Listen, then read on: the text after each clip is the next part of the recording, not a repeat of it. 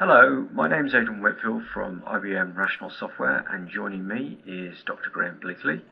Welcome to the Rational Rhapsody UPDM product demonstration. Now, UPDM stands for a unified profile for DODAF and MODAF, and the aim, of course, with UPDM is to create a industry standard approach for military frameworks. This demonstration gives an overview of the UPDM how you can use Rational Rhapsody to create the various UPDM views.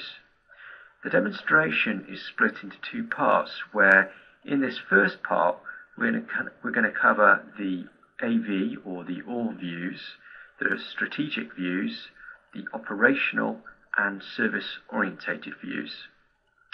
In the second part of the demonstration we're going to be covering some of the other UPDM views such as the system view.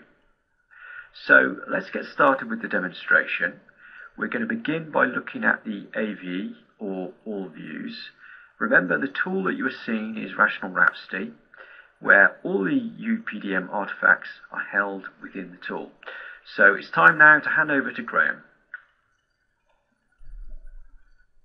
Now the starting point is going to be our AV1 basic or the AV1 diagram, which in this instance is, is captured by a Microsoft Word document, which is brought in as a controlled file into the model. It's also possible to actually add this model, uh, or sorry, these, this information directly into the architecture using the uh, tags that exist on the, the actual architectural description.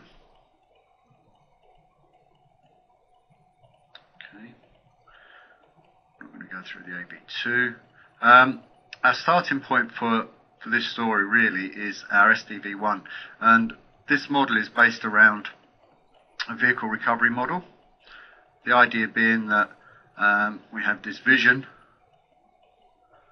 to retrieve personal uh, personnel and rescue resources in various environments such as uh, light desert um, or under fire. Okay.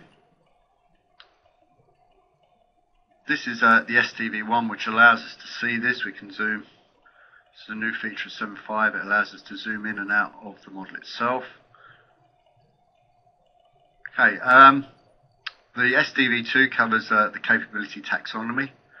And in this instance, we're looking at land and sea recovery. Um, as the, the highest level, our enduring task, and then based upon this, we're going down the vehicle recovery route and principally the light armoured recovery and light armour recovery under fire and in the desert. And to do that, uh, both of these light armour recoveries uh, in, under fire and in the desert, desert require secure, secure communications. And we're going to see this coming up later on because this is going to be the basis for the, uh, the services that we're going to require for encryption and decryption.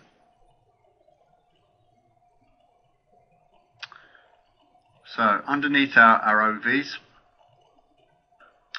uh, in this instance what we have here is a, a structured OV1 uh, where we have elements uh, from the model um, with images associated with them to show uh, typically what might, what you might see. Um, so okay, this might not be a, a desert, but uh, it does give you an idea that there's uh, some rugged terrain involved, and it tells you the main elements that relate to to the operations that you're going to be carrying out. It's also possible that we could bring in a, just a graphic, again as a controlled file um, of this particular uh, operational scenario or any operational scenario.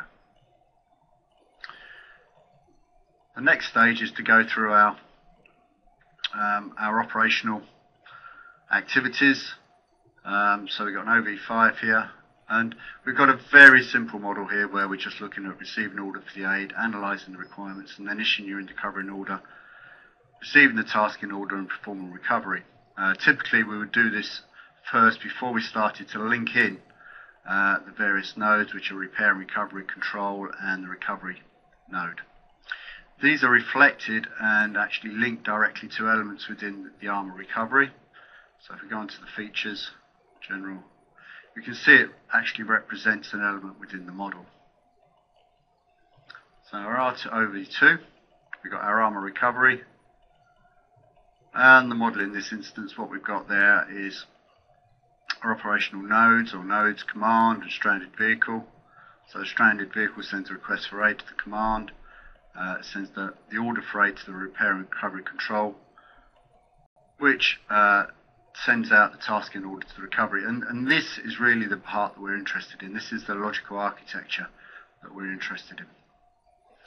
And we've also got a, a mapping based upon our um, our OV5, which allows us to see uh, which of the operational activities, uh, or which, sorry, which of the nodes actually perform the operational activity.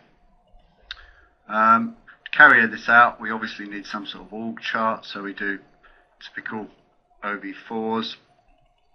Um, in this instance, we've got our, our light armor detachment, consists of uh, a recovery team and a commander.